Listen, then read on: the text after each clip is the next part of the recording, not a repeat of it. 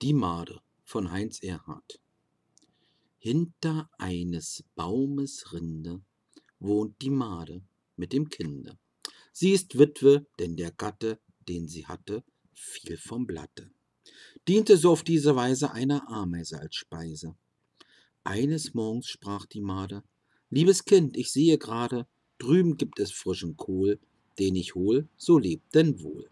Halt, noch eins, denk, was geschah, geh nicht aus, denk an Papa. Also sprach sie und entwich, Madi Junior aber schlich hinterdrein, und das war schlecht. Denn schon kam ein bunter Specht und verschlang die kleine fade Made ohne Gnade. Schade. Hinter eines Baumes Rinde ruft die Made nach dem Kind.